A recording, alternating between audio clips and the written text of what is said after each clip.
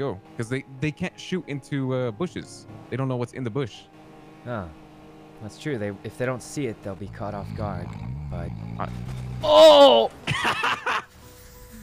uh, Mr. Lang, Jesus Christ. Mr. Lang, he, I think he fell asleep at the wheel because of how boring that plan was. What happened? What happened?